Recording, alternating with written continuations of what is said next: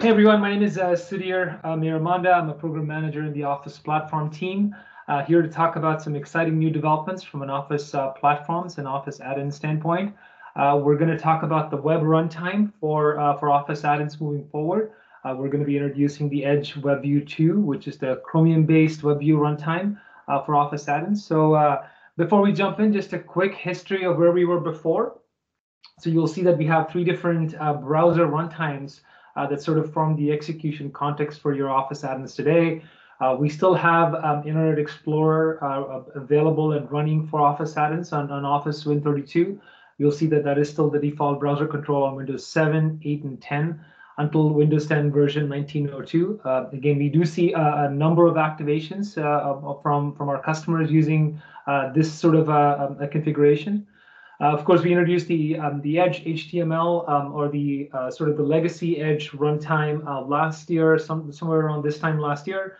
Uh, that is the default browser control for Office 365 version uh, 16.0.11629. And of course, there's a specific Windows version as well that you require uh, to be running the the Edge HTML runtime. That is Windows 10 version 1903. And of course, the, the new one that, that we're looking at right now, uh, this will be shipped, uh, the, the new Edge WebView 2 will be shipped across all versions of Windows and will be the default control for Office add-ins uh, where available. Uh, so really, uh, we are moving into the into this realm of having Edge WebView 2 available across all Windows platforms. Um, you'll see some of the, the core benefits of WebView 2 being um, it is uh, based on Chromium. It is based on the latest Microsoft Edge. so that's Chromium, as you already know is an open source source software. It is going to be consistently supported across all Windows versions. Uh, so starting the, the browser itself is going to be available across uh, Windows 7 through Windows 10. Uh, there are certain configurations that you'll need to be in in terms of having available for, for Office. Again, we'll talk about that in just a bit. Um, again, available for uh, uh, Win32 and UWP apps. Of course, UWP is something that we're not going to be focusing on um, over here. Uh, the classic uh, Windows or the Win32 Office is, is where uh, the Edge WebView 2 runtime is going to be available. And last but not the least, uh, this browser control, this web runtime is always going to be up to date, and that's a that's a critical factor for us from a web development slash Office admin standpoint. Uh, we want to make sure that the runtime is consistent and, and is always up to date um, as we move ahead uh, in terms of any browser updates or JavaScript engine updates, and so on and so forth. So um, uh, really, here's a quick uh, call to action. But, but, before I show this slide uh, or walk through this slide, let's do a quick demo. Um, I've got a Word document over here. I'm just going to launch a very simple add-in. I'm going to launch Wikipedia.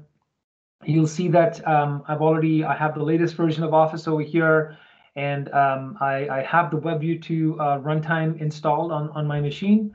And if I right click and inspect, uh, this uh, inspect, this debugger is, was, is not something that was available in the old Internet Explorer runtime or the Edge um, HTML runtime, and this is available now. And you will also see that Edge WebView 2 is the as the engine is the is the exe that's running in my in my task manager over here. Uh, so just uh, again a quick view of what this is going to look like once you install uh, the WebView 2 uh, runtime um, as well as the, the supported version of um, Office 365, if you will, that is integrated with the, um, the Edge WebView 2 runtime. So just going back to my uh, PowerPoint over here, just uh, finishing up over here. Um, again, this is only available in the um, insiders channels um, as of now. So if you're not an Office Insider, that's uh, that's a link right there for you to go in and join uh, the Office Insiders uh, program. Uh, you need to get the latest version of Office 365. That's uh, that version right there, or later um, is the one that's going to be supporting Edge WebView 2. You need to get the WebView 2 runtime installer uh, and install it on your machine. Uh, this is sort of uh, the, this is the thing that makes that exe uh, available on your machine for Office to pick up and use WebView 2 as the runtime. and then launch your add-in and, and test away, validate your add-in, give us feedback. super critical that we hear back from you um, and, and, give us feedback on GitHub. I've got the link over there for you.